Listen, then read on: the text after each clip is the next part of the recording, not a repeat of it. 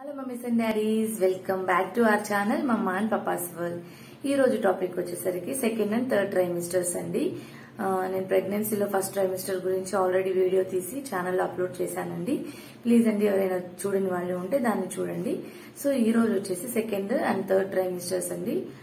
Second and third trimesters అంటే నాలుగో నెల నుంచి తొమ్మిదో నెలల వరకు ఉన్న టైంని సెకండ్ అండ్ థర్డ్ ట్రైమిస్టర్స్ అంటారండి. సో నాలుగో నెల స్టార్ట్ అవ్వగానే మన పొట్ట సైజు కూడా పెరుగుతూ ఉంటుంది పెరగటం స్టార్ట్ అయిపోతుంది.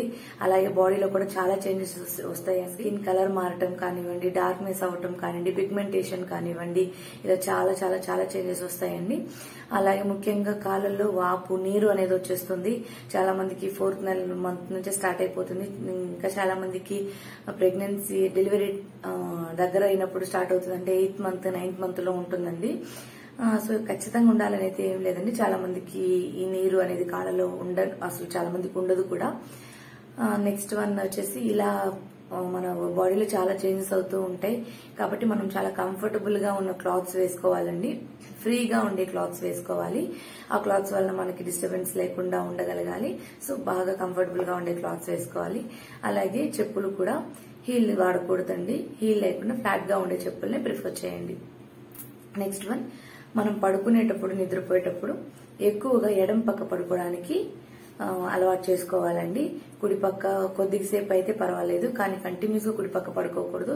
ఎడం పక్క పడుకోవటం వల్ల ఏమవుతుందంటే బేబీకి న్యూట్రిషన్స్ అన్ని బాగా అందుతాయండి.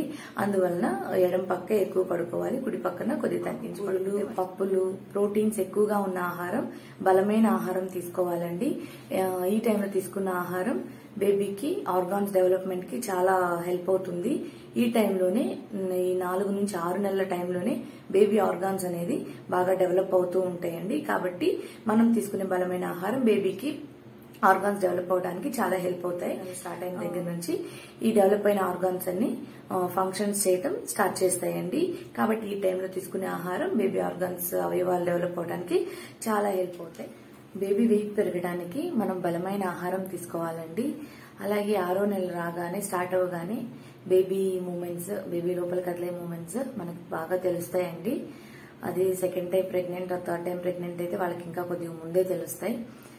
సో ఫస్ట్ టైం ప్రెగ్నెంట్ వాళ్ళకి కొద్దిగా లేట్గా తెలుస్తాయి. సో ఆరు నెలలు స్టార్ట్ అవ్వగానే బేబీ మూమెంట్స్ని మనం ఫీల్ అవ్వచ్చండి. అది మనకి డెలివరీ టైం దగ్గర పడుతున్నప్పుడు డాక్టర్స్ మనకు చెప్పేది ఏంటంటే మీ బేబీ లోపల మూమెంట్స్ని కూడా మీరు వాచ్ చేస్తూ గమనిస్తూ ఉండాలి. కొన్ని కొన్ని సిచ్యువేషన్స్లో అయితే కౌంట్ చేయమని కూడా చెప్తారు. అలాగే పొట్టు పైన ఒక లైన్ అనేది వస్తుందండి బ్లాక్ కలర్ లేకపోతే బ్రౌన్ కలర్ అలాగే ఒక లైన్ అయితే పైనుంచి కింద దాకా వస్తుంది. అది చాలా మందికి అయితే వస్తుందండి ఆ లైన్ని లీనియా నైగ్రా అంటారు. కానీ దాన్ని ఆ లైన్ని చూసి చాలా మంది పెద్దవాళ్ళు డిసైడ్ చేసేస్తారు పుట్టేది బేబీ గర్ల్ బేబీ బాయ్ అని. అదైతే కరెక్ట్ అయితే కాదండి. హార్మోన్స్ చేంజెస్ వల్ల ఆ లైన్ అనేది వస్తుంది. కానీ ఆ లైన్ చూసి భయపడాల్సినంత అవసరం అయితే లేదండి. మన డెలివరీ అయిపోయిన వెంటనే అది చిన్నగా ఆ లైన్ అంతా కంప్లీట్గా పోతుంది. అసలు ఆ లైన్ అయితే ఉండదండి. అలాగే ఈ టైంలో లెగ్ పెయిన్ బ్యాక్ పెయిన్ అలాంటివన్నీ స్టార్ట్ అవుతాయండి. కానీ ఇదైతే అందరికీ ఉండాలి కంపల్సరీగా వస్తాయి అని అయితే కాదండి. కానీ నార్మల్గా లెగ్ పెయిన్ బ్యాక్ పెయిన్ అనేవి ఇలాంటి టైంలో చాలా మందికి స్టార్ట్ అవుతాయండి. అలాగే ఫస్ట్ ట్రైమిస్టర్లో చాలామందికి చాలా మందికి ఉన్న వాంతులు ఇరిటేషన్ లేకపోతే మూడ్ స్వింగ్స్ ఇవన్నీ చిన్న చిన్నగా సెటిల్ అయిపోతాయండి. అన్నీ క్లియర్ అయిపోతాయి ఈ టైం వచ్చేసరికి. లేదు సెకండ్ ట్రైమిస్టర్లోనూ ఉన్న ఫైనల్ లాస్ట్ టైం ట్రైమిస్టర్ వచ్చేసరికి అంత సెటిల్ అయిపోయి క్లియర్ అయిపోతాయండి. అలాగే థర్డ్ ట్రైమిస్టర్లో ఏడు నుంచి తొమ్మిది నెలల మధ్య కాలంలో నీరసం పెరిగే ఛాన్సెస్ ఎక్కువ ఉన్నాయండి. కాళ్ళ నొప్పులు నడుము నొప్పులు సెకండ్ ట్రైమిస్టర్ రా- రాకపోతే లాస్ట్ ట్రైమిస్టర్లో వచ్చే ఛాన్సెస్ ఎక్కువ ఉన్నాయండి. ఇవేమి ఇవేమీ లేవు నా నీరసము నడుము నొప్పి ఇలాంటివి ఏమీ లేకపోతే ఎక్సర్సైజెస్ చేస్తే చాలా మంచిదండి. మన డాక్టర్ని కన్సల్ట్ అయ్యి ఏ ఎలాంటి ఎక్సర్సైజ్ చేస్తే మంచిది ఏ ఎక్సర్సైజ్ చేస్తే నార్మల్ డెలివరీ అవుతుంది ఇలాంటివన్నీ కనుక్కొని అలాంటివన్నీ చేయడం ద్వారా ఇవన్నీ నార్మల్ డెలివరీ అవ్వడానికి చాలా హెల్ప్ అవుతాయండి. వాటర్ బాగా తాగాలండి. స్వీట్స్ షుగర్ ఆయిల్ ఇవన్నీ కంట్రోల్గా ఉండాలి. బ్లడ్ షుగర్ అనేది ప్రెగ్నెన్సీ ముందు ఉన్నా సరే ప్రెగ్నెన్సీలో వచ్చినా సరే ఈ లాస్ట్ ట్రైమిస్టర్లో ఫుడ్ అనేది కంట్రోల్గా తీసుకోవాలండి. మళ్ళీ బరువు ఎక్కువగా పెరిగిపోతే మదర్ కానీ బేబీ కానీ బరువు ఎక్కువ అయిపోతే నార్మల్ డెలివరీకి కష్టం అయిపోతుంది సో నార్మల్ డెలివరీ అయ్యే ఛాన్సెస్ చాలా తక్కువగా ఉంటాయండి. ఇంకా డెలివరీ టైం దగ్గరకు వచ్చేస్తుంది కాబట్టి మనం మెంటల్గా ఫిజికల్గా ప్రిపేర్ అయిపోయి ఉండాలండి.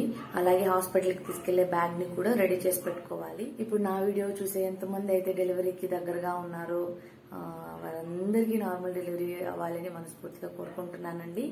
థ్యాంక్ యూ ఫర్ వాచింగ్ అండి. ప్లీజ్ అండి నన్ను సపోర్ట్ చేయండి. నా ఛానల్ని సబ్స్క్రైబ్ చేసుకోండి. నా వీడియోస్ని లైక్ చేయండి షేర్ చేయండి. Thank you